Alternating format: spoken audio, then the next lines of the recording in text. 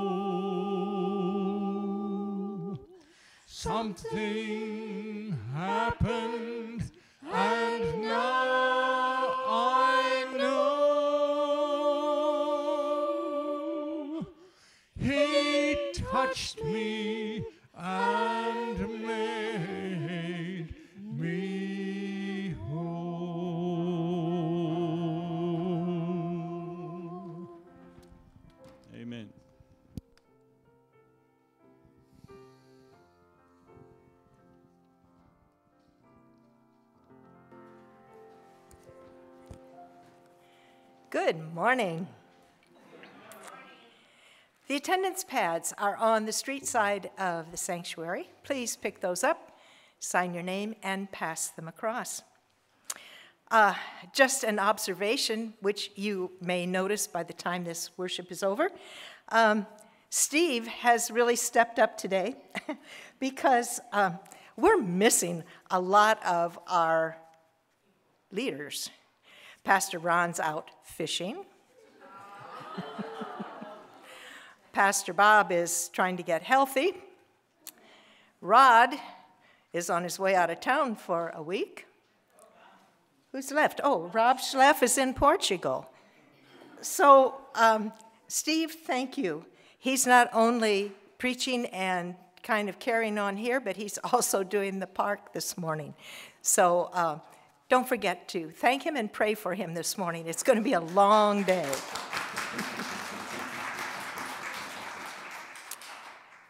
It's always good to know that we have so many people in this congregation that will step up and do things when needed. And what a blessing that God has given us in that way. For prayers this morning, we're going to uh, put our requests on the prayer cards that are in the pew racks. So if you have a praise or a, a prayer request, please fill that out. And during the praise song, pass it to the aisle and someone will pick it up. I don't know who that someone is yet, forgot to take care of that. So I see a couple of the. No, I, I think Veronica and Judy are going to take care of it. Thank you. they, they just sort of step up with a little help. okay. Um, See's Candy Sale is going to reopen May 4th for Mother's Day and graduations. I will be needing some noontime volunteers for one week. Um, so see me about that. I'll have the list over in Fellowship Hall. Celebrate Life is coming up. Look in your bulletin in the insert. Um, my goodness, they had a huge long rehearsal yesterday. This is going to be quite a production. So mark your calendars. You'll want to be here for this. Uh, watch the newspaper. We sent an article off to the newspaper. It'll be coming out soon. Uh, Don has written a, a real good review of what is going to take place, and you won't want to miss that. We have a couple birthdays this week. Uh, Friday, Jerry Mead and Sandra Crespo are going to have birthdays. And also in your bulletin is the financial picture, where we were at the end of March. Now, if you look at that, you'll notice that we were in the red at the end of March a little bit. I don't know where we are this so far in April, but let's hope that we get those parentheses out of there and we are back in the black by the end of April. So we pray that God will make those provisions available through our friends and members. Cheryl Leatherman is going to call us to worship this morning.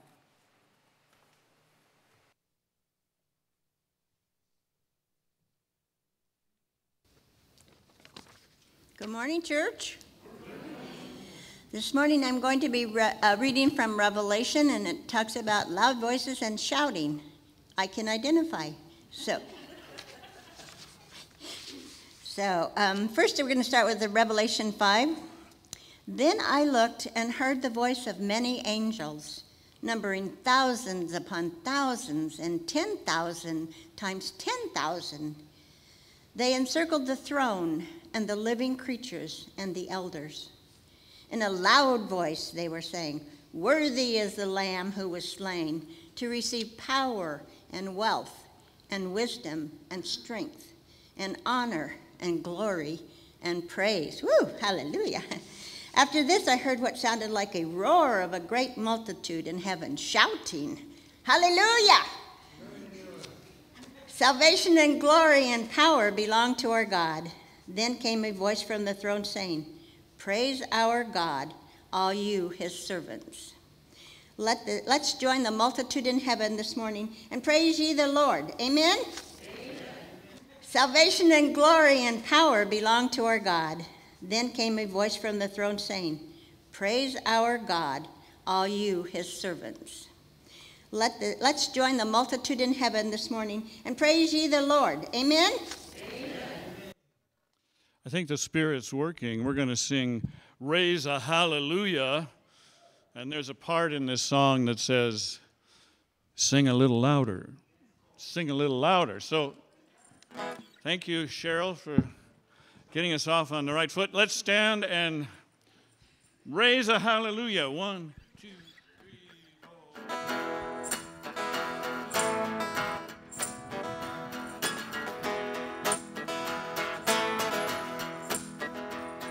I raise a hallelujah.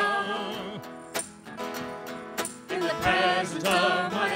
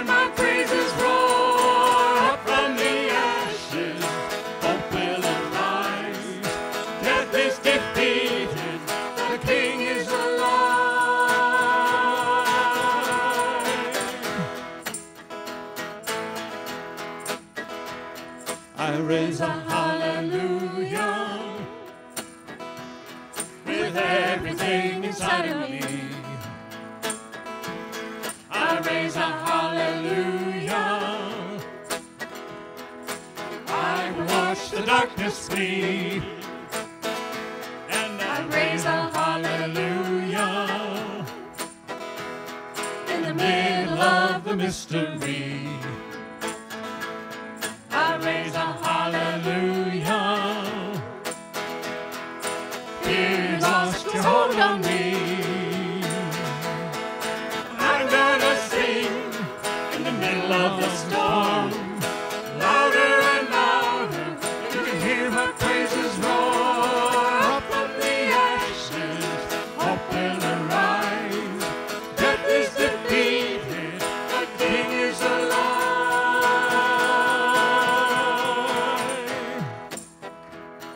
Get ready now. Echo me on this. I want you to echo me, okay? Sing a little louder. Sing a little louder. Again. Sing a little louder. Sing a little louder. Louder. Sing a little louder. Sing a little louder. Oh, sing a little louder.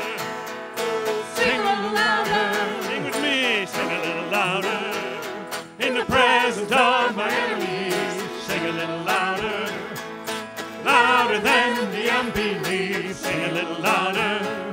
My weapon is a melody.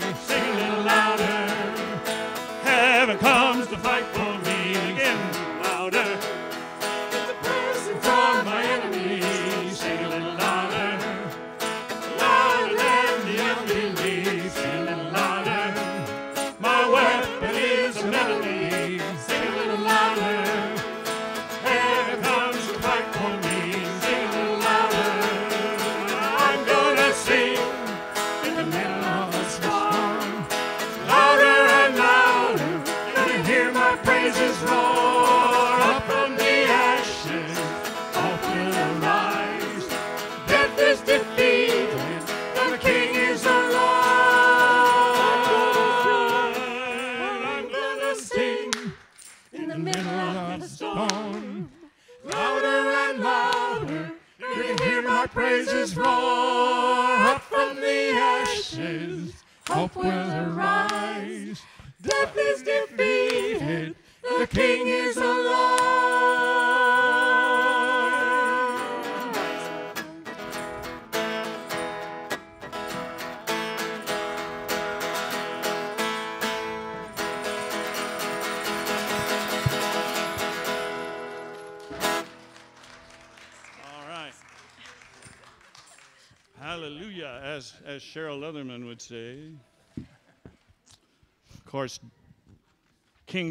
said that a lot too, didn't he? Praise the Lord. we learned this next song last week Wonderful, Merciful Savior. I'm going to give a little presentation on Peter and John at the, uh, the gate of the temple. And it's a story of the wonder of Jesus' name, his mercy, and his healing power. So let's keep that in mind as we sing this song. We're going to play through the verse for you, kind of uh, jog your memories as to how this goes. okay? In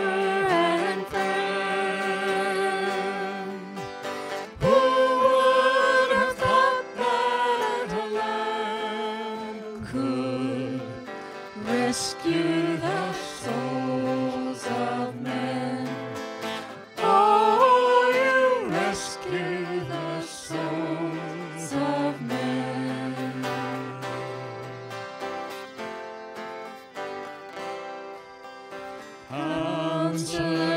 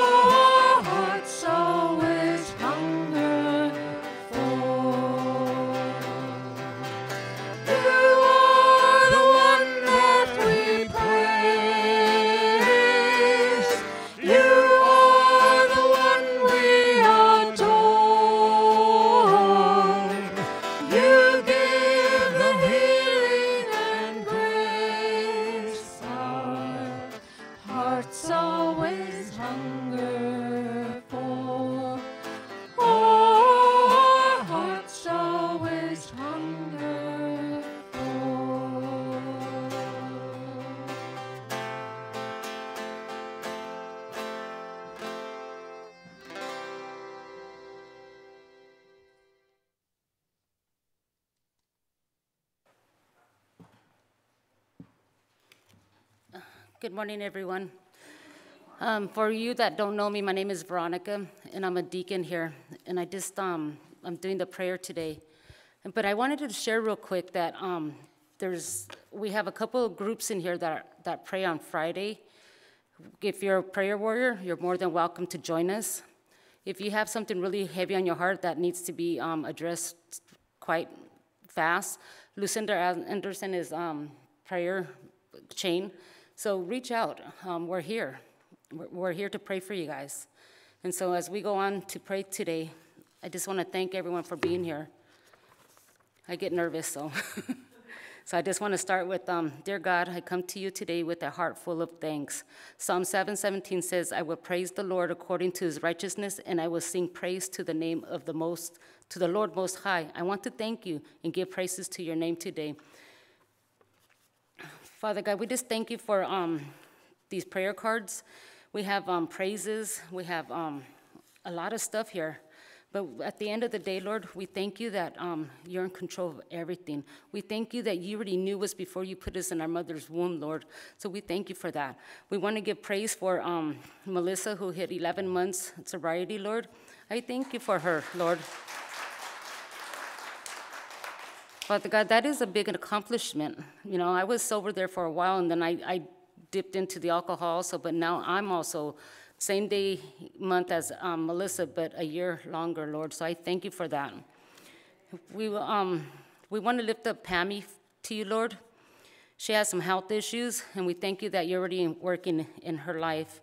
We want to lift up Daryl to you, Lord. He, um, we thank you for sending people to wherever he's at that know you, Lord, that will minister to, to him, Lord. So we thank you for Daryl's um, life, Lord, and for Richard, who has an appointment for plastic surgery, for plastic surgeon, for skin cancer, Lord. Um, Father God, we just want to lift him up to you, Lord. We ask that you give him comfort, Father God. We ask that you touch him. You touch his wherever he has that at, Lord. And I ask, Lord, that you just make it go away, Father God, because you are a miracle healer, Lord. And we thank you for that. And also for um, Dara, Lord, she's also battling cancer. And there's many, many more other people that are, are, are struggling, Lord. And so we just thank you, Father God, that um, you're in the midst of all this. Father God, we want to lift up our congregation to you. We want to lift up our um, people that we have on our paper, our, our requests every Friday that we pray, Lord. We, we lift that up to you. Our bulletin, Lord, we have many people that are on here that need, that need your touch and healing, Lord. So we lift them up to you, Father God. And as we go on today, Father God, I just thank you for blessing us and allowing us to see another day. As we bow our heads before you this morning and seek to come into your presence, I ask your blood to wash us clean. As we begin our new day in prayer, I will ask you to keep us safe. I ask that you protect everyone against the evil one. May you surround us with a hedge of protection. Second Thessalonians 3 3 says, But the Lord is faithful, and, the, and he will strengthen you and protect you from the evil one. I believe you are indeed faithful, and you are in, your words are true. In this world that we live in, we are surrounded by the mighty earthly things that fight for our attention and distract us. And I pray today, Lord, that you will help us to guard our hearts, our eyes, our ears from ungodly things. I pray that you will surround us, Lord, with your strength and might. Second Thessalonians 3:16 says, "May now may the Lord of peace himself give you peace at all times in every way." I believe that you are a God that has heard and answered our prayers. And I know they told me to go slow, but I went fast, and I'm sorry. So we want to finish off with um, our Lord's Prayer. Our Father, who art in heaven, hallowed be thy name. Thy kingdom come, thy will be done on earth as it is in heaven. Give us this day our daily bread, and forgive us our debts, as we forgive our debtors. And lead us not into temptation, deliver us from evil. For thine is the kingdom, the power, and the glory.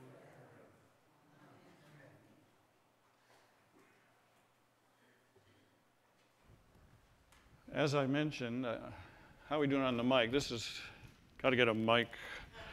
And thank you, Mike, for uh, you know moderating the the sounds and things back there. If I get too loud, you know, you can just turn me down. But as I mentioned, uh, this will be a little presentation. I I like to change it up. They asked me to preach, and uh, you think, okay, well, I'll do the Ronnie thing. But then uh, the Spirit kind of gets a hold of me, I think, and says, Why don't you do what you've done before and give a dramatic presentation? There was a. Uh, there was a leader of the Jesuits back in the 15th century. His name was Ignatius, actually, the founder of the Jesuits, and he compelled people to put their imagination into the stories that we find in the Gospels. Pretend like you're there, he would say. And what do you see? What do you smell? What do you hear? And uh, what, what actor are you in that? So uh, I've taken that to heart on, on occasion, whether it's the Christmas story or the, the stories of Jesus' passion. And uh, as I was thinking about what to preach on here in this resurrection season, they say this is the fourth Sunday of Easter. I thought, this story in Acts talks about the resurrected Jesus, how he's still active, even though he had ascended to heaven. His followers were still proclaiming his name. So as Donna reads, Donna Reed, as Donna reads the scripture, try and put yourself as an observer and uh, think what do you see? What's going on? One day, Peter and John were going up to the temple at the time of prayer, at three in the afternoon. Now, a man who was lame from birth was being carried to the temple gate called Beautiful, where he was put every day to beg from those going into the temple courts. When he saw Peter and John about to enter, he asked them for money. Peter looked straight at him, as did John. Then Peter said, Look at us. So the man gave them his attention, expecting to get something from them. Then Peter said, Silver or gold I do not have, but what I do have, I give you. In the name of Jesus Christ of Nazareth, walk. Taking him by the right hand, he helped him up. And instantly the man's feet and ankles became strong. He jumped to his feet and he began to walk. Then he went with them into the temple courts, walking and jumping, praising God. When all the people saw him walking and praising God, they recognized him as the same man who used to sit begging at the temple gate called Beautiful. And they were filled with wonder and amazement at what had happened to him. I know the writer of those verses. His name is Dr. Luke. I like the way he described that day. The people were filled with wonder and amazement. It's been years since that day. For me, the wonder and amazement have never ceased. Oh, I should probably introduce myself. My name's Seth. It's a good Jewish name. There was a time when they just called me the beggar. Yes, I'm the man who was healed that day, the man who sat by the gate beautiful. And guess what? I can still walk. And I can leap. Impressive, huh? Well, it may not be that impressive to you, but let me tell you something. I clearly remember those first 48 years and three months when these legs were absolutely useless, immovable. I couldn't even stand, had to be carried everywhere. Well, that all changed in one moment. And as I said earlier, I'm still amazed that these legs work. Not everyone believes me, you know. The story's out there, of course. Lots of people have read Dr. Luke, but a good portion of them shrug and say things like, I'd have to see it to believe it. Maybe you too are the skeptical type. I'm glad Dr. Luke wasn't a skeptic. He interviewed me, you know. He even examined my legs. He wanted his writing to be as accurate as possible. He wasn't there, but he believed. I wish there were more people like him a man of deep, deep faith. Oh, he had a scientific mind, all right. He was a medical doctor after all. But he was full of the Spirit, too. Full of the Holy Spirit. That was one of Doc Luke's favorite phrases. He used it when he described what happened to me. Peter, he wrote, was filled with the Holy Spirit as he spoke to the rulers and the elders that day. Now, there's another guy, Peter. I wish there were more like him, too. We became good friends after my healing, you know. After that day, my very first steps in 48 years, I wanted to kiss his feet. But no, he said. You need to praise God, not me. To this day, I'm amazed at Peter's humility.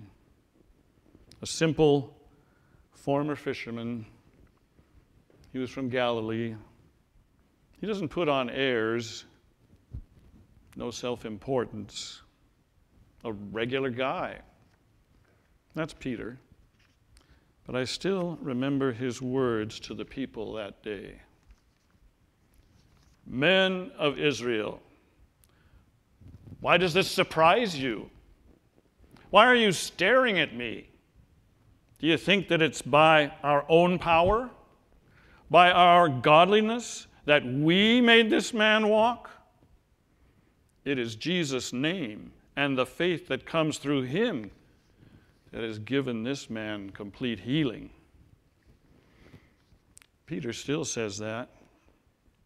He'll catch me talking about the day that Peter healed me, and he'll take me aside and say, Seth, Jesus is the healer, not me. I do remember Jesus. I always sat there by the temple gate. I couldn't miss him.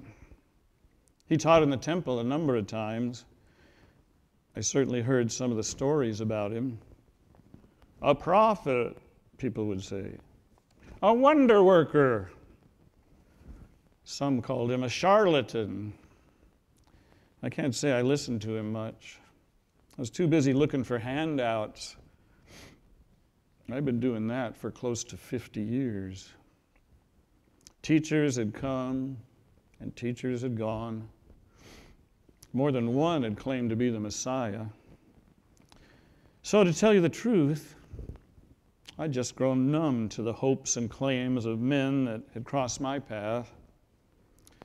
If I got enough coins in my beggar's cup, enough to cobble together the cost of my daily bread, I, I didn't care about much else.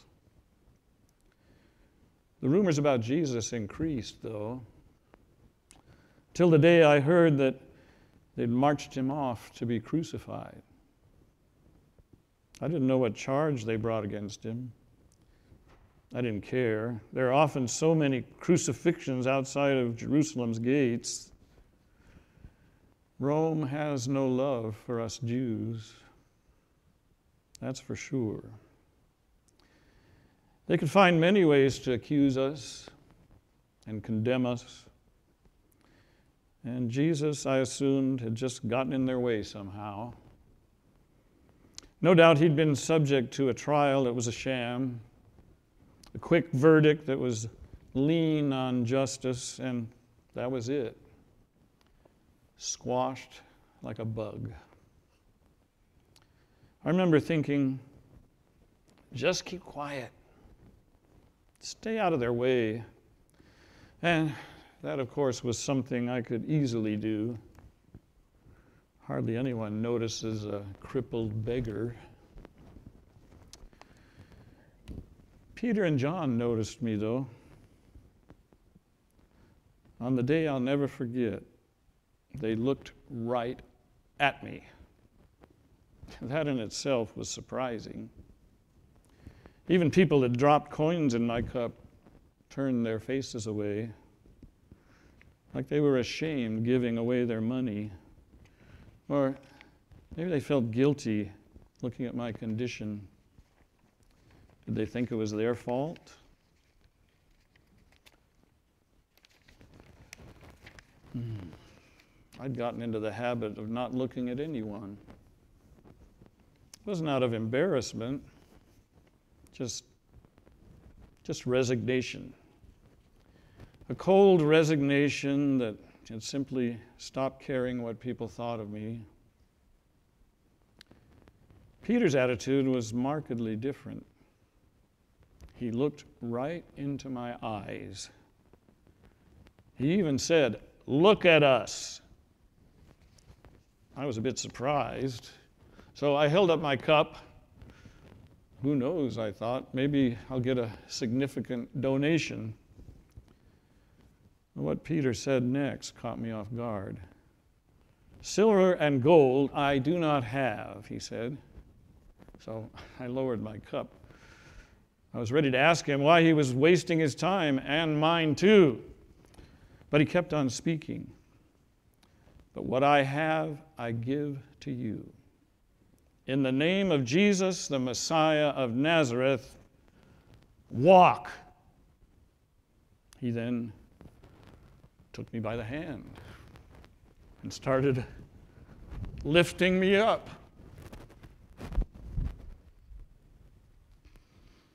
I have trouble describing the sensations that enveloped my body.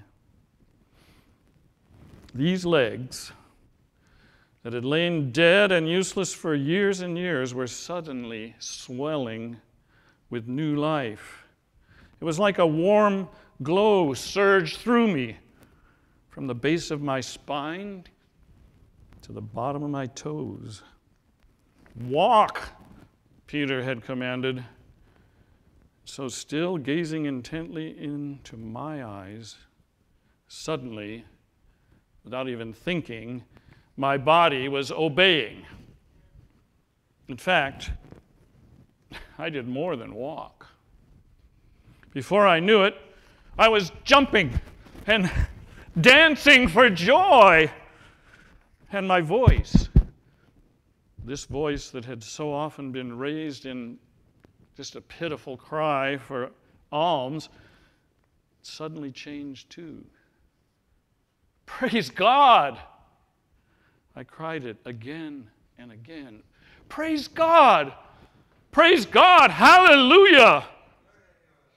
I was so busy hopping around and shouting, not to mention hugging Peter and John, that I failed to notice that a crowd had gathered. I learned then and there that Peter could not resist addressing an audience, especially one that was ready made. So he started to preach. The God of Abraham, Isaac, and Jacob, the God of our fathers, has glorified his servant Jesus.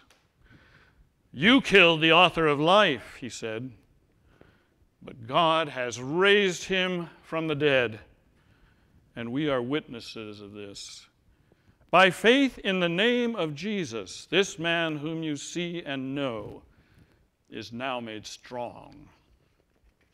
He kept preaching for a while, eloquently, I might add. It was all about Jesus, who was foretold by Abraham, Moses, Samuel, and all the prophets. The one raised up to wipe away sins and to bless all who listen to him. I can still hear Peter's voice ringing through the courtyard Turn from your wicked ways. I must have been a funny sight, dancing around in front of the crowd. Some people laughed. I couldn't have done that years ago. But I didn't care they were laughing at me. Joy had overtaken me. I think the Holy Spirit had overtaken me too. I was so full of energy, I couldn't stop. And pretty soon, the people stopped laughing and started clapping, shouting hallelujah in time with me. I raise a hallelujah. I raise a hallelujah. I raise a hallelujah. I raise a hallelujah. Hallelujah. I couldn't stop. But temple authorities suddenly appeared. They put a quash on things, I must say. I stood by in shock while the guards clapped Peter and John in handcuffs and marched them off to jail.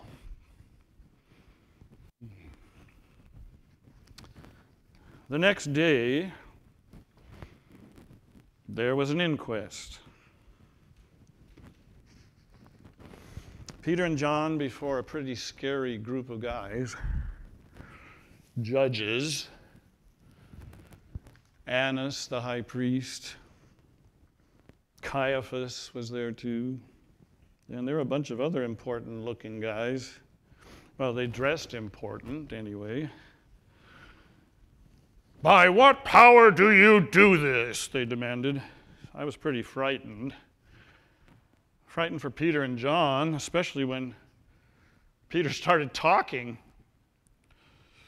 Rulers and elders of the people, he said. If we're being called to account today for an act of kindness shown to a cripple and are asked how he was healed, know this. It is by the name of Jesus of Nazareth, whom you crucified, but whom God has raised from the dead. This man stands before you healed. He was pointing at me. I wanted to shrink. But they took little notice of me. Their anger was rising as Peter continued. The stone you builders rejected has become the cornerstone, and salvation is found in no one else. For there is no other name under heaven given to men by which we must be saved. Do you know what Dr. Luke says about this moment? He tells us that the temple rulers, the high priest Annas, Caiaphas, the whole group of judges were left speechless. They didn't know what to say. Luke writes this They saw the courage of Peter and John and realized this. They were uneducated men ordinary men.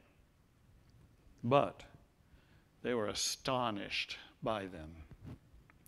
And they could see that these men had been with Jesus. Let's think about that phrase. They had been with Jesus.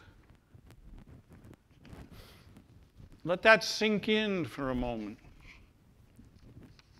They had been with Jesus. I've often thought, if only I could say that, that I, like Peter and John, had been with him. I've thought that I'd have courage like they had courage, that I'd have an unshakable faith just like theirs. But you know what Peter told me one day? Later, Peter would write this in one of his letters. He said, You, Seth, also have faith, a faith that is greater than gold. And though you haven't seen him, you love him. And even though you do not see him now, you believe in him. And you are filled with an inexpressible and glorious joy. So, you're receiving the goal of your faith, the salvation of your souls. Think about that. Our very souls can receive healing. You know, you may not be a cripple like I was, but perhaps your soul is crippled. Like Peter and John, I don't have silver or gold, but what I do have, I offer to you a faith that is greater than silver or gold. Faith in Jesus, the risen Lord you don't see him now, but I urge you to believe in him. The result will be an inexpressible and glorious joy. Can you tell? I'm still rejoicing. It constantly wells up within me what Peter talked about a joy that I can't even describe. Sometimes I read the Psalms of David and I just start singing joyfully. There's a friend of mine who wrote a psalm, he wrote a song based on the Psalms. And it's taken from Psalm 40 and Psalm 150. He calls it Psalm 190. You know, add them together. And here's how it goes I waited patiently for the Lord, and he inclined to me and heard my cry. He brought me up out of the pit of destruction, out of the miry clay. And he set my feet upon a rock, making my footsteps sure.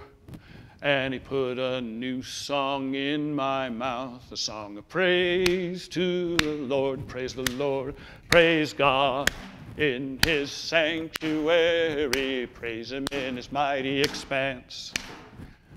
Praise him for his mighty deeds. Praise him according to his excellent greatness. Praise him with trumpet sound. Praise him with harp and lyre. Praise him with timbrel and dancing. Praise him with stringed instruments and pipe. Praise him with loud cymbals. Praise him with resounding cymbals. Let everything that has breath praise the Lord, praise the Lord. Let everything that has breath praise the Lord, praise the Lord.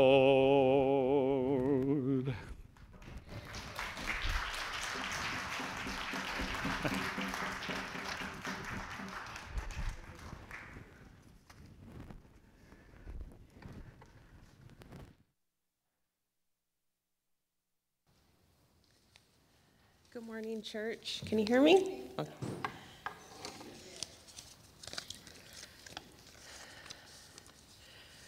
I just want to take this time to thank you for all of our blessings and for allowing uh, all of us to be here to worship you today.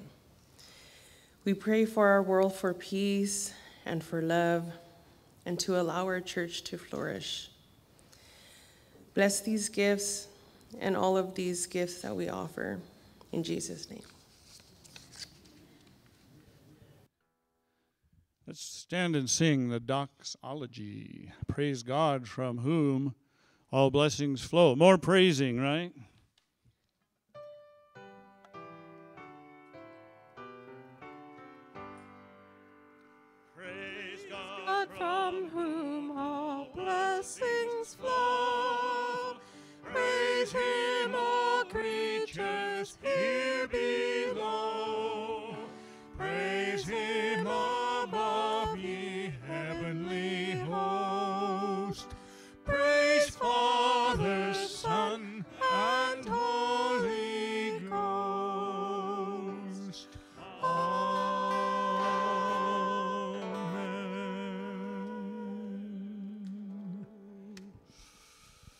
Here's the song 10,000 Reasons. If you have a reason to bless the Lord today, there's thousands of them out there.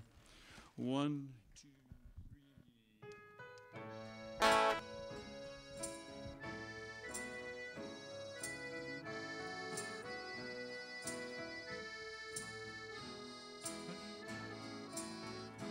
Bless the Lord, oh my soul,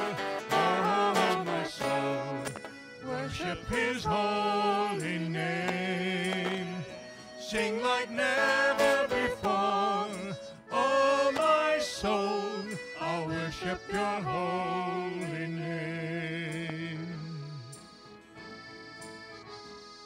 The sun comes up, it's a new day dawning. It's time to sing your song again. Whatever may pass and whatever lies before me. That we be singing when the evening comes. Bless the Lord, oh my soul, oh my soul. Worship his holy name. Sing like never before. Your holy name. You're rich in love and you're slow to anger. Your name is great and your heart is kind. For all your goodness I will keep on singing. ten thousand reasons for my heart to find. Bless the Lord, oh my soul, oh my soul, worship his holy name. Sing like never before, oh my soul, I'll worship your holy name. And on that day when my strength is failing, the end draws near and my time has come. Still my soul will sing your praise unending. Ten thousand years and then forevermore.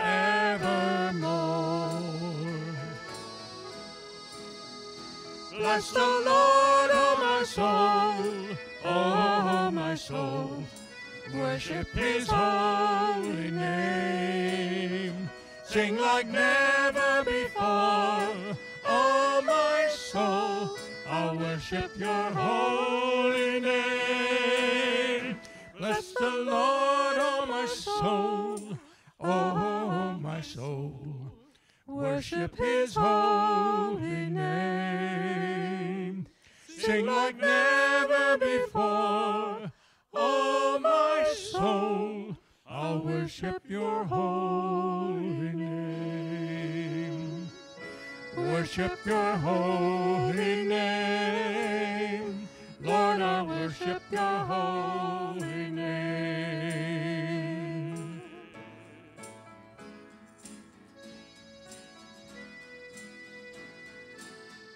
Sing like never before, worship your holy name. Worship your holy name. Worship your holy name.